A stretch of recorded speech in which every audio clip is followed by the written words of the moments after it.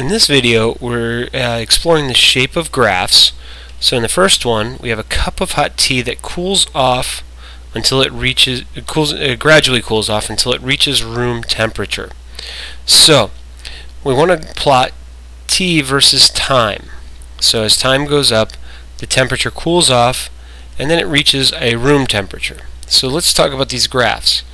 Now in A, look at what happens the temperature cools off slowly at first and quicker and quicker, but then the temperature eventually goes to zero.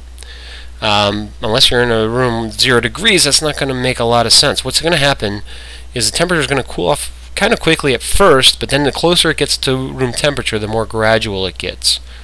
Um, this would say that it's cooling off at a constant rate all the way down to zero. Uh, this one it doesn't cool off at all at first, then all of a sudden it cools off quick, then it stops cooling off.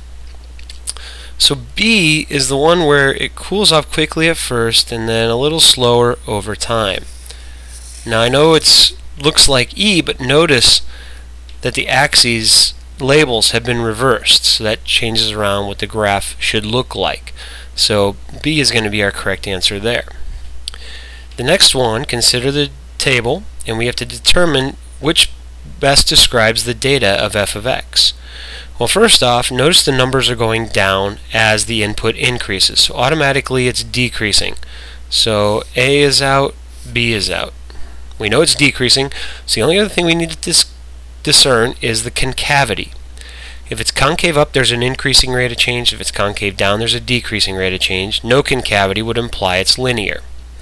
So let's see, it goes down by 30, so let's maybe make a note of this 30, then it goes down by 50, then it goes down by 70, then it goes down by 80, then it goes down by 100.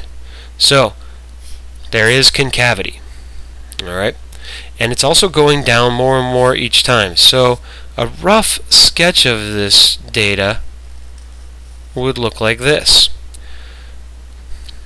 Because it's going down more each time, the slope is becoming more negative.